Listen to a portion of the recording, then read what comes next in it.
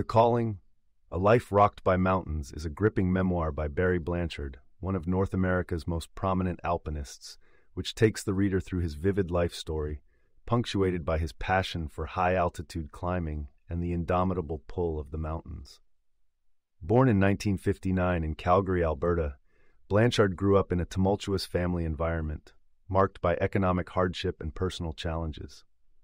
Despite his dyslexic struggles with education and the absence of his biological father, he found solace and direction in the wilderness around him.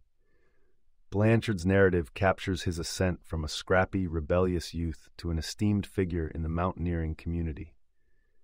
His journey begins with small scale rock climbing during his teenage years, leading to full fledged escapades in the Canadian Rockies and eventually to the most perilous and remote peaks in the world. Blanchard's exploits up the sheer faces and treacherous ice fields of iconic mountains such as Mount Waddington, Mount Robson, and Mount Assiniboine are documented in vivid detail, showcasing not only his physical prowess, but also his evolving philosophy of alpinism.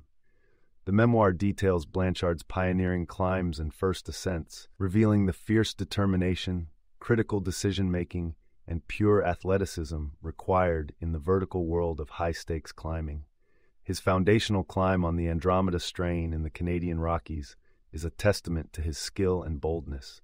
The climb would go on to become a classic test piece for aspiring alpinists. Another significant milestone narrated in the book is his harrowing ascent on the North Pillar of North Twin during the spring of 1985. The North Twin climb, emblematic of Blanchard's tenacity, secured his reputation as an elite alpinist. Beyond his exploits in Canada, Blanchard's memoir takes the reader around the globe, highlighting expeditions in distant ranges like the Himalayas, where he faced not only the physical challenges of high altitude climbing, but also internal battles. His attempts on the unclimbed east face of Mount Everest in 1982, 1983, and 1988 are recounted with introspection, revealing the mental and emotional toll of such daunting endeavors. Blanchard confronts profound questions about his own mortality, the ethics of risk taking, and the impact on loved ones left waiting at home.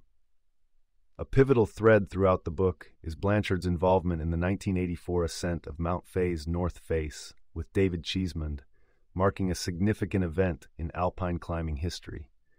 This expedition exemplifies the camaraderie and interdependence that can develop between climbing partners. Blanchard underscores the deep bonds formed with fellow climbers like Cheesmond, Kevin Doyle, and Carl Tobin, and recounts the crushing loss of friends claimed by the mountains, capturing the sport's inherent duality of elation and heartache. Blanchard's account is not without personal introspection and growth.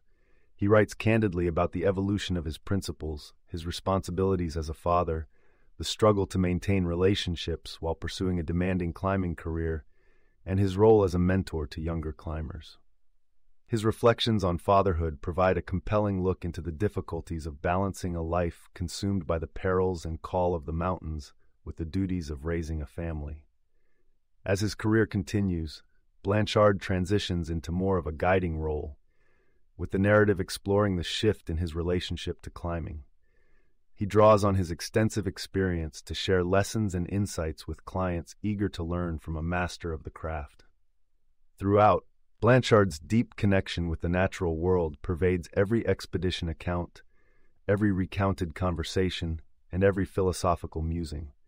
His environmental and cultural sensitivity is also apparent in his dealings with the local populations in the regions he explores.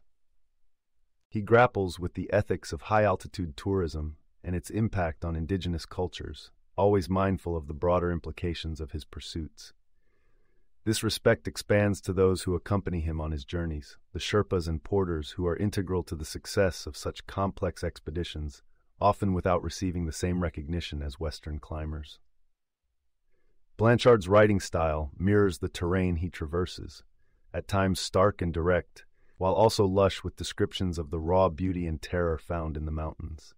His prose manages to bring the reader into the intense, often congested atmosphere of high altitude climbing filled with sublime sunrises, the roar of avalanches, and the icy caress of relentless storms. His emotive recollections convey not just the physicality of his accomplishments, but also the soulful engagement with a lifestyle that is relentless, rewarding, and introspective. As he grows older, Barry Blanchard continues to climb, albeit with a greater awareness of his limitations and the shifting purposes behind his pursuits.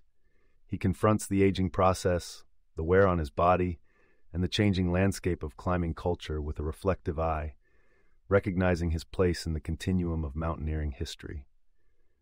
He uses his later expeditions to bridge the divide between his early renegade approach and a more sustainable, seasoned perspective. The Calling, a life rocked by mountains, is a testament to the power of mountains to shape a life.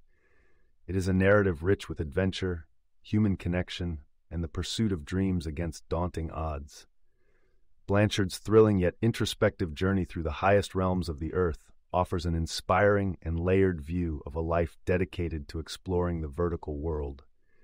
The memoir concludes as more of a pause than an ending, suggesting that for Blanchard, the call of the mountains is an enduring one, echoing in the recesses of his being, inviting him back, time and again, to the edges where earth meets sky. You can listen to the full audiobook for free by following the URL in the description.